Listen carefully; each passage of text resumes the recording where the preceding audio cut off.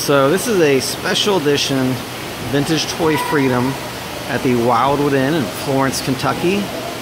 The date today is April 9th, 2018, and uh, believe it or not, it actually just snowed this morning. Um, staying here with my kids on, on spring break. There's my son Ian. And we are doing a special edition in the game room. Something I've never seen before in a vending machine. It has turbo racer cars, so I'm gonna put in a dollar. And is E. No, no, no, I might do it wrong. Two. Here it comes.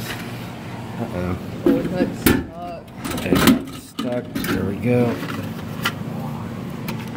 All right, look at that. A Turbo Racer die-cast metal freewheeling action, non-toxic paints, authentic tampo printing. I don't even know what that means. Um, doesn't say who made it or when it was made. Let's um, put it over here on the out of order Jurassic Park pinball machine.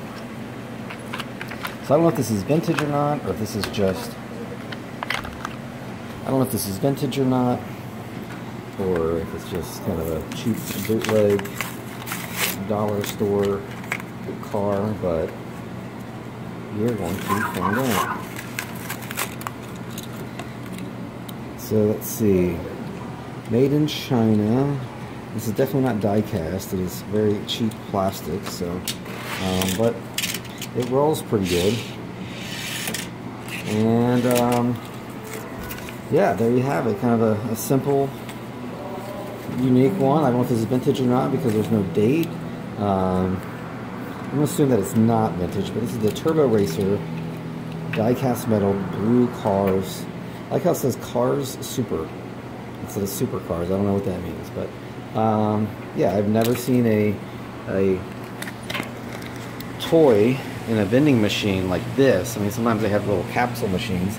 You see the other one in there. There's a, a red one. So there's a whole line. You have to collect them all a buck a piece here in the vending machine in the, the game room at